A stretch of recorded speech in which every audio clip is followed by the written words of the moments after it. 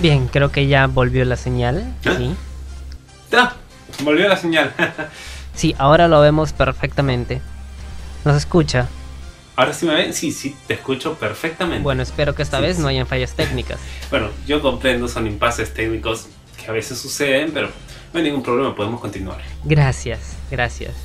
Bueno, ya para terminar la entrevista, porque nos queda poco tiempo, en lo que va de su campaña usted se ha mantenido esquivo a las preguntas acerca de eh, propuestas concretas, de planes concretos, acerca de cómo solucionar eh, las grandes cuestiones que afectan el país. Y quisiéramos que rápidamente nos plantee las soluciones que considera resolverán estos problemas. Sí. Mira, con respecto a ese tema, y ya para zanjarlo definitivamente, hay una frase que creo encaja perfecto con, con tu, con tu pregunta, y es, solo sé que nada sé. Disculpe, ¿qué? ¿Qué, qué? ¿Cómo qué? O sea, ¿y las respuestas? ¿Yo qué sé?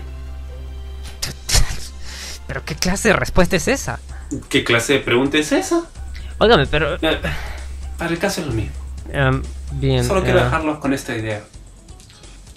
Amigo, amiga que estás viéndome en tu televisor, o en tu laptop, o en tu smartphone, quiero que sepas que no importa qué tan difícil sea la situación, no importa cuántas crisis abatan nuestra economía, el futuro siempre será mejor mañana.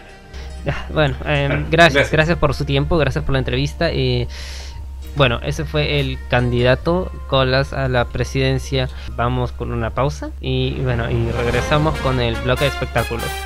¿Qué clase de entrevista es